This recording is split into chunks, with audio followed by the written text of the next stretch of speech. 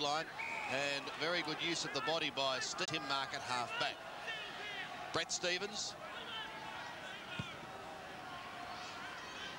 to the wing area again. Henwood in from behind. Rowe gets a hurried right foot kick across the centre. Lynch a lightning hand pass to Baldwin.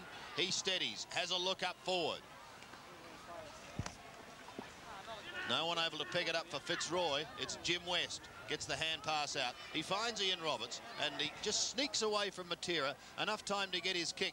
Had nowhere to go, but gathered some valuable ground.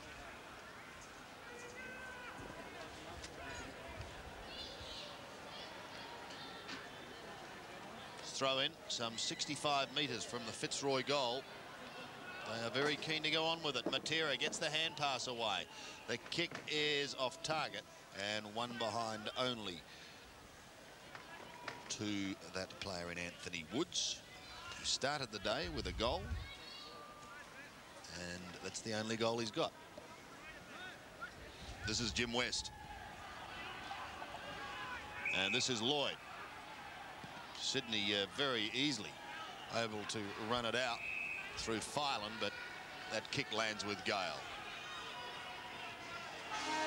There it is.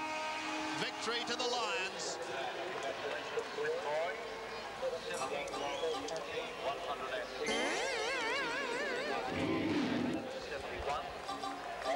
And a cause for a roar because Fitzroy have won this match quite convincingly in the end. The final scoreline 17-14, 116.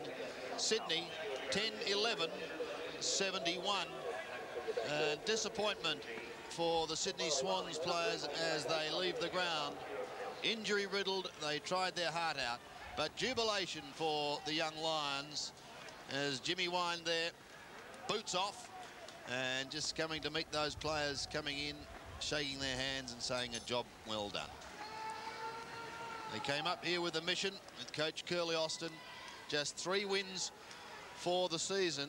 They wanted something desperate to happen, and they got it. Sydney must look to the future, and, well, if they can get some players back, who knows, they could still be a force. But the honours lying with Fitzroy as Gary Pert and Paul Roos, John Ironmonger lead their team off. Matthew Wheeler leaves the ground. And just repeating our final score, Fitzroy 17.